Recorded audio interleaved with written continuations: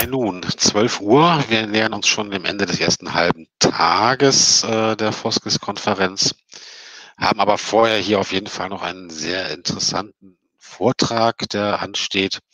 Ähm, das ist der Vortrag im InkMap, eine Frontend-Lösung für den Kartendruck. Und den Vortrag wird ähm, Renata Müller von Camp to Camp halten.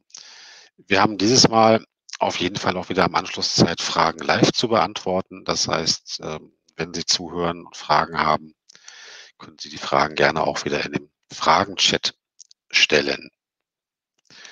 Ja, ansonsten dann bitteschön, der Vortrag kann losgehen.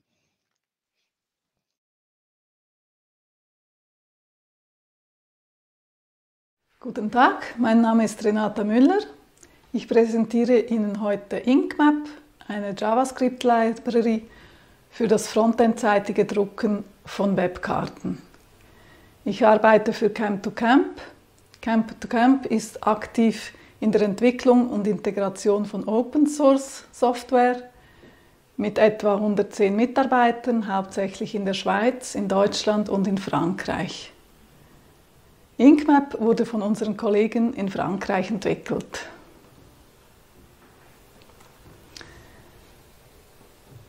Ich werde zunächst erklären, warum eine neue Kartendruck-Library entwickelt wurde. Dann werde ich die eingesetzten Technologien äh, vorstellen und wie diese zusammen funktionieren. Ich werde einen Überblick geben der Funktionalität mit einer kleinen Demo. Dann werden wir die Dokumentation ansehen und die API. Und am Schluss werde ich zwei ganz kleine Codebeispiele zeigen, die illustrieren, wie man die Library anwendet. Warum eine neue Kartendruck-Library? Es gibt ja grundsätzlich zwei Möglichkeiten, Webkarten zu drucken, entweder im Backend oder im Frontend. Backend-Lösungen haben den Vorteil, dass sie große Datenvolumen, zum Beispiel große Formate und oder große Auflösung sehr gut verarbeiten können und die Performance nicht darunter leidet. Der Nachteil ist, dass unter Umständen das Bild auf dem Bildschirm nicht genauso aussieht wie das gedruckte Bild. Außerdem bringt man neue Komplexität ins Projekt, weil man einen Server benutzen muss und sich um die Verbindung zu diesem kümmern muss dann ist häufig die Gestaltung und das Styling vordefiniert, so dass man hier etwas in der Flexibilität eingeschränkt sein kann. Frontend-Lösungen hingegen sind sehr einfach einzubinden und what you see is what you get ist meist gut gegeben. Man muss einfach auf die Maßstäbe aufpassen. Hingegen haben Frontend-Lösungen häufig Probleme mit größeren Datenvolumen. Das kann zu Performance-Problemen führen und sogar die Antwortfähigkeit des Browsers beschränken. Und dann natürlich ist man im Browser immer abhängig von dessen Technologien und von der jeweiligen Version.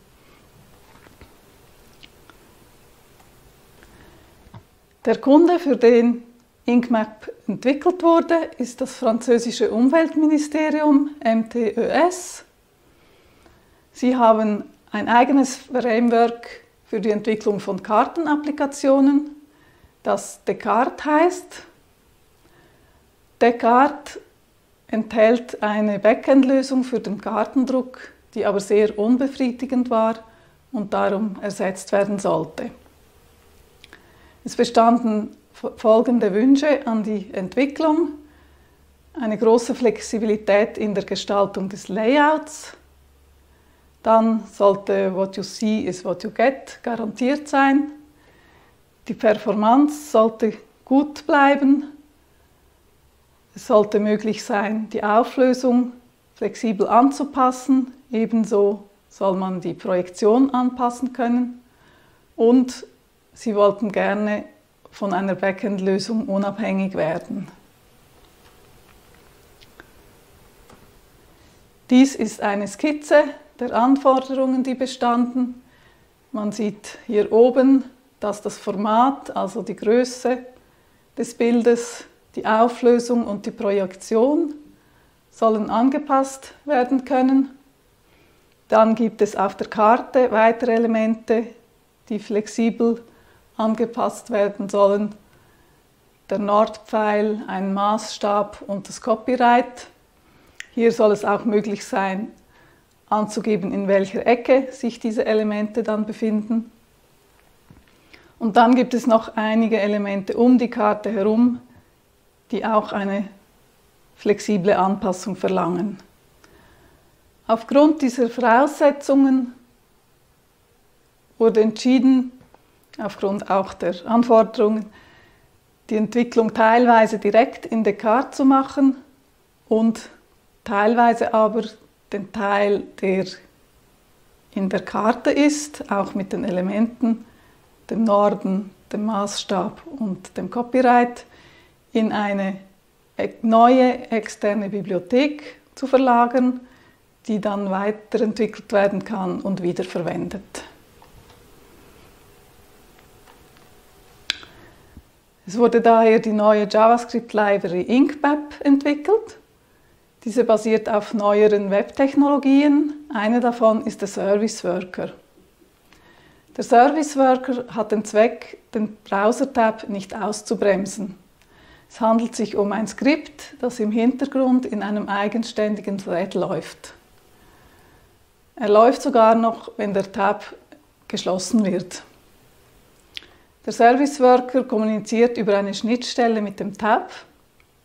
Er macht es möglich, dass man mehrere Druckaufträge parallel verarbeiten kann. Und falls der Browser die Service Worker Technologie noch nicht anbietet, ist in InkMap eine Alternative, ein Fallback implementiert, so dass das Drucken trotzdem noch funktioniert. Da man nun außerhalb des Tabs die Karte rendern will, benutzt man die Offscreen-Canvas-Technologie. Diese ermöglicht ein Rendering der Karte unabhängig vom Bildschirm. Die Kombination von Service Worker und Offscreen Canvas ermöglicht eine recht gute Performance.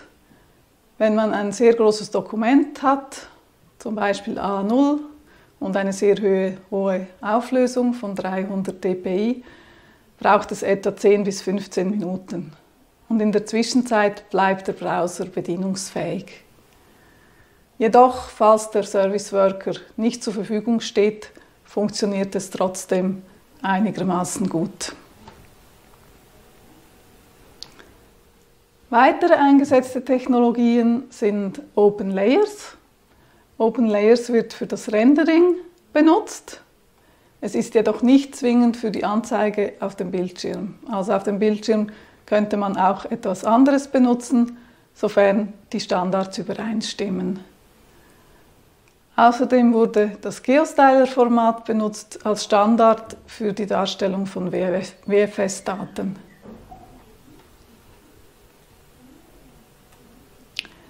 Hier ein kleines Schema der Funktionsweise von InkMap. Wir haben ein Hauptprogramm, das im Browser-Tab läuft und den Drucker, der im Service Worker läuft. Das Hauptprogramm sendet dem Drucker einen Druckauftrag und dieser sendet in regelmäßigen Abständen den Status des Druckauftrages zurück. Der Printer generiert dann OpenLayers-Ebenen ohne Karte und nutzt diese, um die Daten, die er braucht, zu holen und diese zu rendern.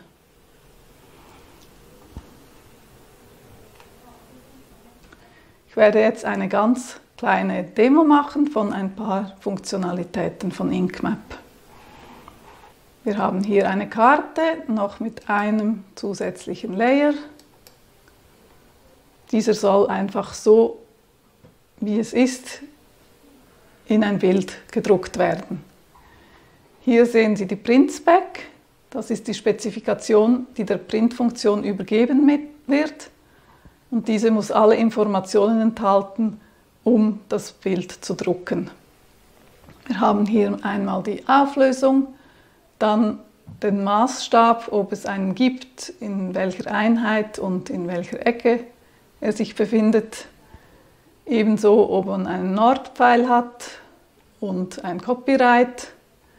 Dann muss die Projektion angegeben werden, die Größe des Endbildes, das Zentrum der Karte und natürlich die Skala.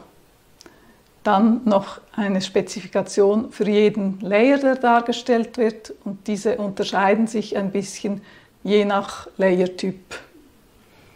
In dieser kleinen Beispielapplikation kann man nun einige von diesen Parametern auswählen, zum Beispiel die Auflösung, die Position des Maßstabs, des Nordens und der Attributions. Andere sind direkt berechnet aus der Karte, zum Beispiel die, hier die Größe, man will genau die gleiche Größe wie hier dargestellt, und die Skala. Hier haben wir noch einen Fortschrittsbalken, um den Fortschritt des Druckvorganges darzustellen. Wenn ich jetzt hier drucke, kann man den Fortschritt sehen. und bekommt dann das gewünschte Bild mit den gewünschten Elementen in den verschiedenen Ecken des Bildes. Dann ist hier auch noch implementiert die Möglichkeit, einen Druckauftrag zu stoppen, zum Beispiel wenn er zu lange dauert. Und dies zeigt sich auch im Druckfortschritt. Den oberen Teil der Funktionen hier habe ich in der Demo kurz gezeigt. In der Dokumentation sind noch ein paar Sachen mehr beschrieben. Wichtig ist die Möglichkeit, mehrere Druckaufträge parallel auszuführen und auch deren Status anzuzeigen.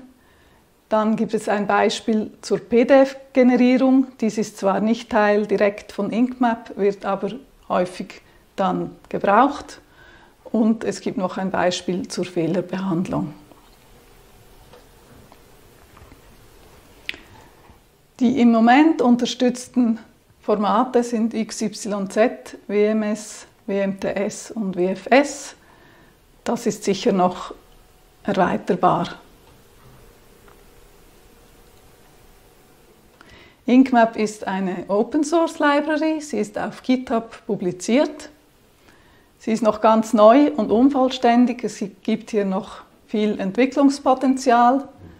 Und die Idee ist, dass sich jetzt jeder die Library so anpasst, wie er sie für seine Bedürfnisse braucht und damit zur Weiterentwicklung beiträgt. Bis jetzt war die Entwicklung vor allem an den Anforderungen von diesem einen Kunden ausgerichtet, was eine etwas einseitige Sicht darauf gibt. Deshalb ist Feedback zu weiteren Use Cases sehr willkommen.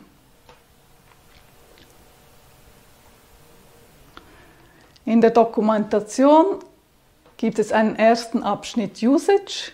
Dieser erklärt, wie man die Library einbindet. Es handelt sich um eine, ein NPM-Package und auch, wie man den Service Worker einbindet, der noch separat mitgeliefert werden muss. Dies ergibt leider noch einen kleinen Zusatzaufwand. Dann ist die API beschrieben. Zunächst die Funktionen. Sie sehen, das sind nicht sehr viele. Es ist relativ einfach. Es gibt natürlich eine Printmethode. Dieser wird die Spezifikation übergeben und man bekommt ein Blob für das Bild zurück. Als Alternative dazu gibt es QPrint, dem man ebenfalls die Print-Spezifikation übergibt die jedoch eine Job-ID zurückgibt. Mit dieser Job-ID kann man Get Job Status aufrufen und bekommt dann ein Observable Print Status Objekt. Dann gibt es die Methode Download Blob, mit der man den Image Blob in ein Bild, eine Bilddatei herunterladen kann. Für das Stoppen eines Druckauftrages gibt es die Methode Cancel Job und dann noch, wenn man eine neue Projektion registrieren will, Register Projection. Dann gibt es die Spezifikationen der Objekte. Einmal der Pro Projection Definition, des Print-Status und natürlich der Print-Spec. Das ist das umfangreichste und enthält auch noch ziemlich detailliertere Angaben zu den verschiedenen Layer-Typen. Ebenfalls auf der Dokumentationsseite auf GitHub findet sich der Link zu einer Demo-Seite. Dort gibt es mehrere Codebeispiele, man, wo man direkt die Funktionalitäten ausprobieren kann, aber eben auch den Code sieht, der dahinter steht. Zwei dieser Codebeispiele möchte ich hier zeigen oder äh, Ausschnitte davon. Das erste ist das einfache Drucken, wo man einfach auf einen Knopf drückt und ein Bild druckt. Hierzu braucht man aus InkMap die Methoden Print und Download Blob. Es gibt hier einen Spinner auf dem Knopf, der wird am Anfang angezeigt. Dann wird die Methode Print aufgerufen mit der Spezifikation und irgendwann bekommt man ein Blob des Bildes zurück. Dann wird der Spinner wieder abgeschalten und man kann mit der Methode Download Blob den Blob in eine PNG-Datei herunterladen. Das zweite Beispiel zeigt, wie man auch den Status der, des Druckauftrages anzeigt. Hierzu benötigt man statt Print die Methode QPrint und zusätzlich die Methode GetJobStatus. In diesem Fall haben wir einen Anzeigebalken, bei dem der Progress anfangs auf 0 gesetzt hat. Progress ist zwischen 0 und 1, das heißt bei 1 ist der Druckauftrag erledigt und äh, kann dann heruntergeladen werden. Dann wird in diesem Fall QPrint mit der Spezifikation aufgerufen. Man bekommt eine Job-ID zurück. Mit der Job-ID kann man Job-Status aufrufen, um ein Print-Statusobjekt zu bekommen, das man dann beobachten kann und laufend den Progress in der Statusbar anpassen kann. Wenn Progress dann auf 1 ist, kann man wiederum mit Download Blob den Bildblob in eine PNG-Datei herunterladen. Wir haben gesehen, dass InkMap eine relativ unkomplizierte Lösung bietet für das Drucken von Webkarten. Die API ist ziemlich einfach zu benutzen es ist eine gute Performance gegeben und es ist auch möglich, Parallelaufträge auszuführen. Und what you see is what you get ist gut gegeben. Vielen Dank für Ihre Aufmerksamkeit.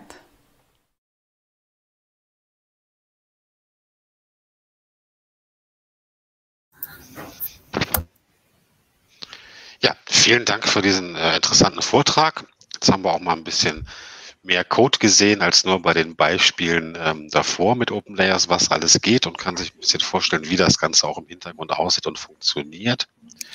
Wir haben eine öffentliche Frage. Es ist auch noch Zeit, ein, zwei mehr zu stellen. Also falls noch irgendwer ein Fragezeichen über dem Kopf schweben hat, könnte jetzt was eintippen. Ähm, die eine Frage, die wir bisher haben, lautet, würde es funktionieren, wenn das Kartenbild mit Leafjets erstellt wird, aber zum Drucken müsste man dann trotzdem zum Drucken Open Layers einsetzen. Ja, also das würde äh, funktionieren mit Leaflets. Ähm, aber InkMap benutzt dann automatisch ähm, Open Layers für das Rendering. Das würde also man ja, muss einfach die Spezifikation dann entsprechend ausfüllen, aber äh, wie das auf dem Bildschirm dargestellt wird, das spielt keine Rolle, ob das Leaflet ist. okay, das heißt, ähm, das war mir dann auch nicht so klar in dem Vortrag geworden. Man muss das ähm, zweimal quasi konfigurieren, die Karte. Einmal für den Browser und einmal für den Druck. Oder übernimmt das Inkscape das Ding, ähm, die der Open Layers Konfiguration, wenn ich es eh im Browser benutze? Nein, also Sie müssen quasi aus dem, was Sie im Browser haben, die Spezifikation dann entsprechend gleich anpassen. Ja, okay, gut. Dann äh, Ja. erklärt das natürlich auch sehr gut, warum es auch mit LeafJet und vielleicht sogar anderen Bibliotheken dann eben funktionieren Genau. würde, natürlich. Okay. Mir war noch eine Frage aufgefallen, das geht wahrscheinlich dann in die Richtung, mir eine Frage eingefallen, ähm, in die Richtung weitere Spezifikationen. Das ist ja ein Projekt, was noch relativ weit am Anfang ist, so habe ich es verstanden, und wird sicherlich noch weiterentwickelt werden. Ähm, wie ist denn das aktuell mit ähm, Informationen rund um die Karte herum, die ich gedruckt haben möchte? Also ich kenne das aus den Projekten, dass die Leute gerne eine Überschrift eingeben, vielleicht Anmerkungsfelder haben, ähm, dass ein Impressum angegeben werden kann, eine Legende und all solche Geschichten. Ist sowas schon da oder gibt es da schon Genau. Ideen für? Das ist äh, eben nicht da, sondern es ist wirklich, InkMap übernimmt nur der, den Teil, der wirklich auf der, auf der Karte selbst ist. Und wenn man es dann in ein PDF zum Beispiel integrieren möchte, dann müsste man die Sachen rundherum noch dazu bauen. Also ist eigentlich in diesem Projekt dann in dieser Descartes Library dann dieser Teil gemacht worden. Also man wollte sich wirklich bei InkMap nur auf das Kartenbild Ah, konzentrieren. Also InkMap macht das Kartenbild als PNG oder was auch immer, Rasterbild. Genau, ja, Und das PDF ist dann wieder eine andere Bibliothek und da könnte man dann halt logischerweise noch, noch andere ähm, Elemente integrieren. ja, genau. Und so soll das auch, so ist auch die Idee von Architektur, dass es so bleibt, prinzipiell. Genau, Jetzt ja. da nicht noch viel mehr in das InkMap reinbaut, was woanders ja sowieso schon geht. Ja. Alles klar, Dankeschön. Dann ist noch eine neue Frage aufgetaucht, das freut mich auch. Zwei Fragen. Ähm, was passiert, wenn ein Webmap-Service nicht die geforderte Auflösung liefern kann, DIN A0 mit 300 dpi? Das ist immer ein Druckproblem, das kenne ich auch, ja. Maps. Also er liefert dann ja unter Umständen eine Fehlermeldung und gar nicht mal mehr ein Rasterbild, sondern irgendwie ein XML und sagt, "Puh, tut mir leid, will ich nicht. Ja, das weiß ich jetzt nicht. Okay. Ja gut, wahrscheinlich, wenn das eine Projektentwicklung ist, dann ähm, ist wahrscheinlich auch das InkMap auf die Webmap-Services abgestimmt, die dahinter stehen. Und Ja. äh, das müsste man dann wahrscheinlich mal, Abfangen, ja. mal durchtesten und abfangen. Okay. Dann sogar noch eine dritte Frage. Könnte es durch dieses Verfahren möglich sein, auch Adobe Illustrator-Dateien ausgeben zu lassen? Da geht es jetzt in die proprietären Formate, wenn ich das richtig verstehe. Da bin ich gespannt, ob wir eine Antwort kriegen. Nein, ich denke nicht. Also, Ja, also im Moment ist es einfach PNG oder es kommt einfach ein Bild und alles andere muss man dann selber. Ähm, ach so, jetzt verstehe ich die Frage auch erst ehrlich gesagt richtig. Also das soll nicht PNG rauskommen, sondern Adobe Illustrator als Format. ja, Gut. Ja, das stelle ich mir sehr, sehr kompliziert vor. Ja, Vielleicht die. PDF-Variante, die man nach Illustrator importiert, aber dann eben auch nur die Rasterbilder drin hat. Ne? Okay. Ah, noch eine Frage, das ist doch schön. Was ist außer PNG möglich? GeoTIFF, TIFF, JPEG als Ausgabeformat. äh, bin ich jetzt gar nicht sicher.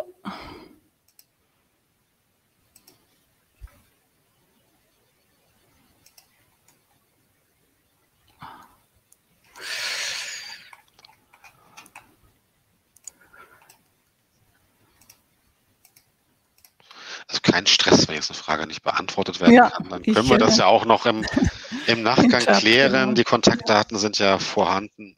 Genau. Dann entweder nochmal im Chat in der Netzwerkwelt oder durch eine E-Mail oder, oder sonst was. äh, Aber es ist schon eine interessante Frage. Da würde ich dann an deiner Stelle schon nochmal nachgehen. Da sind immerhin fünf Votes im Gegensatz zu all den anderen Fragen von den Leuten, die das interessiert.